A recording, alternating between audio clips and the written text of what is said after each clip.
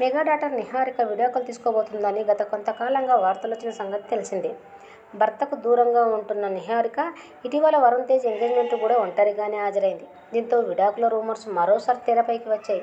ఈ నేపథ్యంలో నిహారిక విడాకులపై వస్తున్న రూమర్స్ నిజం చేస్తూ డైవర్స్ కోసం కోర్టులు పెట్టెక్కింది తాజాగా ఆమె కుకట్పల్లి ఫ్యామిలీ కోర్టులో విడాకుల కోసం పిటిషన్ దాఖలు చేసింది. హిందూ వివాహ చట్ట ప్రకారం మెహా డాటర్ కోర్టును ఆశ్రయించింది. కాగా గత కొంతకాలంగా జొన్నలగడ్డ చైతన్య నిహారిక విడివిడిగానే ఉంటున్నారు. ఇన్స్టాలో ఒకరికొకరు అన్ఫాలో చేసుకోవడం పెళ్ళి ఫోటోలు డిలీట్ చేయడం విడాకుల రూమర్స్కు ఊపందుకున్నాయి. అంతేకాకుండా చైతన్య ఇటీవలే సోషల్ మీడియాలో చేసిన పోస్టు వైరల్గా అయిన సంగతి తెలిసింది. తాజాగా నిహారిక పిటిషన్తో విడాకులు తీసుకోబోతున్నట్లు అధికారికంగా ప్రకటించి వచ్చేసింది.